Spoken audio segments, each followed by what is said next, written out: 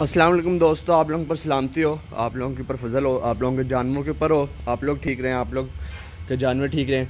ये दोस्तों, आज की वीडियो है इनके खुडे की सफ़ाई। मेरी जौन सी मिस्री मुर्गियाँ और देसी मुर्गियों की जौन से हैं, उनकी सफ़ाई खुडे की, ये देखें, पूरा केज है। तो ऊपर वो मैंने फ़िलहाल जौन सी मुर्गियाँ ऊपर छत पर शिफ्ट की हैं, ताकि धूप भी सेक लें, और यहाँ पर मैं अपना काम भी सही तरीके से कर लूँ तो ताकि बिल्ली वगैरह का भी ना ख़तरा हो, उनकी जान भी सही रहे। तो चले, इनके अभी खुडे की सफ़ाई करते हैं और सारे अंदर से गंद वगैरह निकाल के तो इनके खुडे की आपको दिखाता हूँ। सफ़ाई करके ये देख लें, अंदर से एक दफ़ा कि काफ़ी गंद है। गंदम मैं देता हूँ तो इन्होंने गंदम आज सुबह दी थी। तो गंदम में गंदम खिलारी हुई है। मट्टी का पहले नीचे लेवल बहुत ज़्यादा कम था तो इन्होंने वो खोद खोद के मट्टी का लेवल बढ़ाया हुआ साइड वो पीछे से काम किया हुआ है। तो ये निकालेंगे, सारी सारी मट्टी निकालेंगे और साफ़ करके अंदर नई मट्टी, साफ़ सुथरी वाली डालेंगे। चलें, शुरू करते हैं। ये देखें मैंने काफ़ी हद तक अंदर से मट्टी उखाड़ी है। ये देखें, ये आपको अगर मैंने जब केज बनाया था, तब वीडियो नहीं बनाई थी। यहाँ पे इसके ना एक मैंने पार्टीशन रखी थी, लेकिन इस केज को अब एक्सटेंड करना, आगे तक यहाँ तक करना है। तो ये बीच में से खोल दिया जाएगा।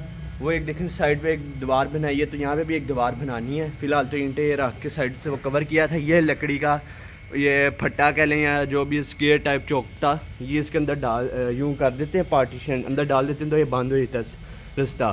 तो ये जब गर्मी आएँगी तो यहाँ पे जाली शाली या इसके फट्टे के अंदर जाली लगा लेंगे, इस तरह कुछ कर लेंगे। तो ये वैसे आगे एक्सटेंड करना है काफ़ी। तो काफ़ी हद तक अंदर से खुदाई कर ली है, देख लें। तो खुदाई के ना सफ़ाई की है, मट्टी निकाली है तो अंदर से और निकालते हैं। ये दोस्तों देखें, आगे से इस तरह मैंने किया था कि अंदर गेट बिल्कुल फिक्स ना हो, सीमेंट वगैरह कोई नहीं साथ जोड़ा, ताकि यूँ अंदर से केज की साइडों से सफ़ाई वगैरह हो सके। तो जब भी करना होता है इसीलिए मैंने यूँ का सिस्टम बनाया था। तो जिस तरह बनाया था, उस तरह तो नहीं बन पाया, लेकिन उसका कह लें कि हंड्रेड में से टेन परसेंट हाँ टेन परसेंट बनाई है जो मैं जो चाह रहा था, जिस तरह। ताकि सफ़ाई क्योंकि अब ये केज छोटा पड़ गया है तो अब इसे बड़ा भी करना है तो अभी इसी तरह है। तो ये केज आप भी अगर बनाएँ तो इस तरह करें, इसके कल को अगर आपको शिफ्टिंग भी करनी पड़े केज की तो वो आसानी से हो सके, या तो यहाँ से तोड़ना पड़े, या ख़त्म करना पड़े तो वो आसानी से हो सके।